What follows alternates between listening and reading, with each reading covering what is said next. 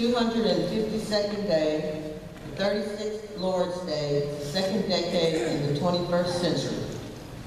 How often do you work out?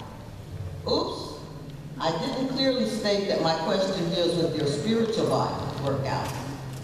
I know this subject can be troublesome for some because of your trials with a physical body workout, but bear with me. Most, most things require use, positive, sustaining activity. This includes your physical body, your automobile, and your spiritual body.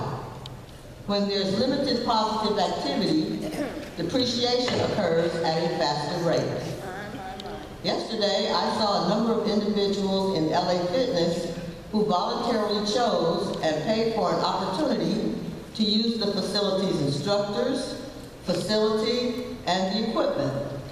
I said to myself, self, these persons are pursuing their physical fitness goals without regard to what others may say about them, their financial status or difficulties, competing pressures for their time, the temptation of sleeping in.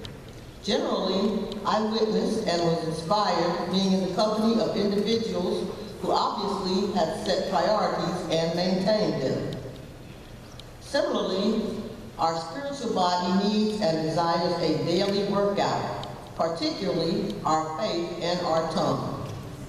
The most important consideration for an effective workout is the place where it's accomplished. The only official and ordained spiritual workout place is a Bible-believing, Holy Spirit-filled and led church. When we obediently and perpetually go to his church, and as in Matthew 6.35, seek him first, all things will be added. Make workout in his church a priority. I'm fit and I determine not to stop. By his grace, I'm growing to the tippy top. Jesus is the rock.